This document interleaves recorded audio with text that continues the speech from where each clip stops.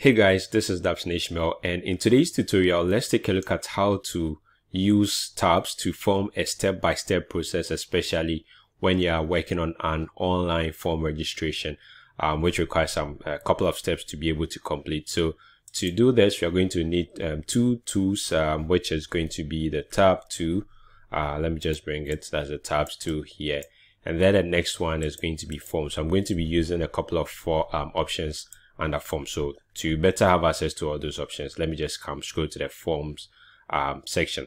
So I have my tabs here and let me just create one more tab in addition to this to make it three. So I should have a couple of uh, processes. So what I'll be doing next is to use the form wizard to generate a form over here. So I'm going to create the form based on a template and out of the options available in here, um, let's just say I want to select the first uh, option. So it's going to be contact one. Let me just use contact um, two.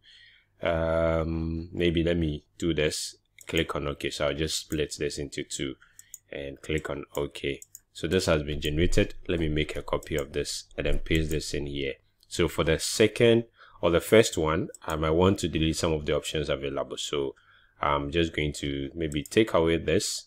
Or instead of doing this let me just generate another form wizard here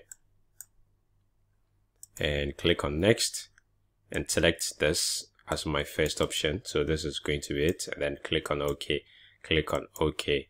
Yeah and then maybe finally let me i think i'll split this rather into two for the final part. So i'll delete some of the options available in here and here. Okay so i just limit this to um, this.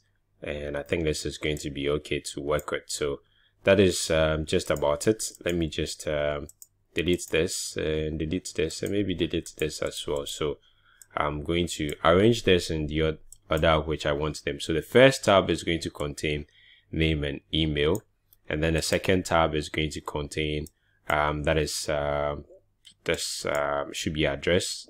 Let me just get rid of some of the options available here. So this is going to be address city and state and then the last one is going to be um, code phone and then email. So let me just delete this and delete this as well then minimize this and then switch to the second tab position this in here switch to the third tab and then position this in here as well. With the positioning of my forms now the next thing i want to do is to change the mode of my tabs here to steps. So i'm going to switch over and change this to steps and then once i click on ok you realize i have different steps. So if i preview this in the browser i have this one and then I have this, and then I have this um, as part of the steps.